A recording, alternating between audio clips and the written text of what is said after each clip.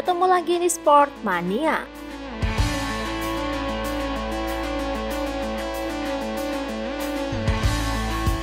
Sebelum menonton, jangan lupa untuk selalu tekan tombol subscribe dan loncengnya dulu untuk mendapatkan info terupdate dari Sport Mania.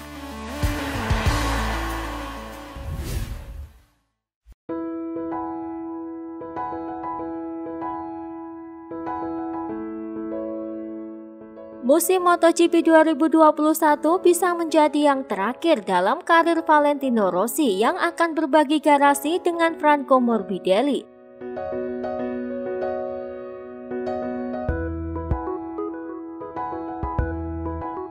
Sebelumnya Rossi mempunyai rencana menggarap mimpi keduanya yaitu balap roda 4.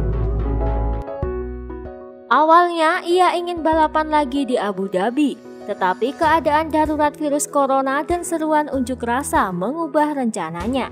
Tampaknya ia tertarik berkompetisi di putaran final kejuaraan rally dunia VIA tahun ini yang dijadwalkan di Monza dari 4 hingga 6 Desember 2020. Saya tahu tentang Monza, banyak orang yang sudah menelpon saya, ucap Rossi.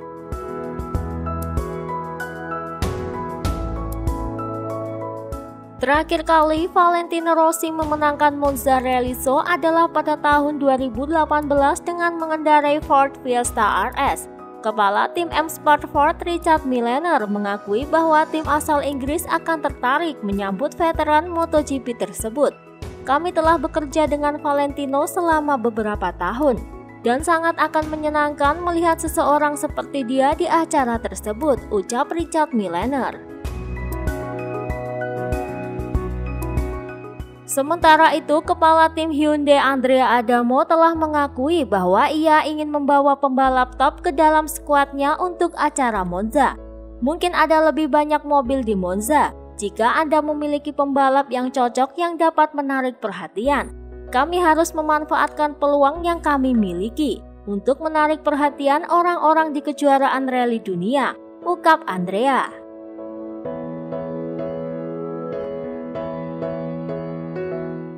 Sedangkan tampaknya kini nama Valentino Rossi akan segera tercoret dari juara dunia. Peluang Valentino Rossi untuk tampil sebagai juara dunia MotoGP 2020 dipastikan tertutup.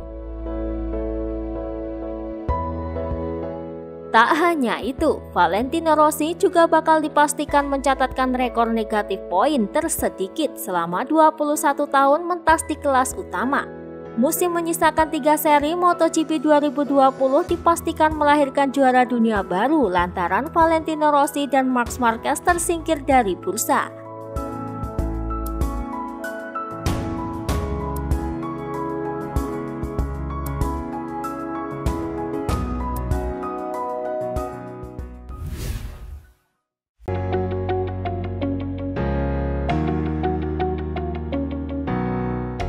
Pengamat MotoGP Carlo Pernat menilai kondisi Fabio Quartararo saat ini sama seperti Valentino Rossi dan juga Marc Marquez. Ia mendapatkan tekanan besar karena dipandang mempunyai peluang juara di MotoGP 2020. Performa apik berhasil ditunjukkannya di awal musim ini. Ia merebut dua kemenangan sekaligus saat mentas di sirkuit Jerez dalam balapan bertajuk MotoGP Spanyol dan Andalusia 2020. Sayangnya kinerja api Quartararo nyatanya gagal dilanjutkan ke balapan-balapan berikutnya. Kini Quartararo tengah menempati urutan kedua di klasemen sementara MotoGP 2020. Soal penampilan Quartararo yang tampak inkonsisten, Pernat menilai kondisi ini tercipta lantaran tekanan besar yang menghantuinya saat ini. Besarnya tekanan yang didapat Quartararo dinilai sama seperti dua juara dunia MotoGP, yakni Valentino Rossi dan juga Marc Marquez.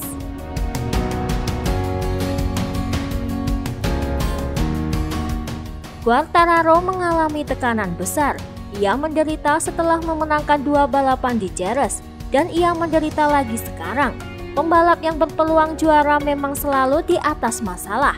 Hal ini seperti yang dialami Valentino Rossi dan juga Marquez, ucap Bernard.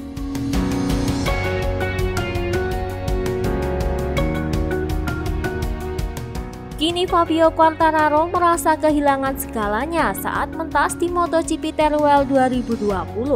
Merasa tak nyaman dengan kondisi motornya, Quartararo pun gagal menuai hasil manis. Karena itu Quartararo pun meluapkan kekecewaannya usai balapan rampung digelar. Ia kini bertekad kuat untuk menebus hasil tersebut di balapan berikutnya yang bertajuk MotoGP Eropa 2020. Saya tidak senang karena kami menemukan sesuatu yang positif saat pemanasan. Saya kehilangan segalanya dalam balapan. Perasaan di depan, perasaan di belakang. Saya tidak punya pegangan. Sangat aneh, ucap Quartararo.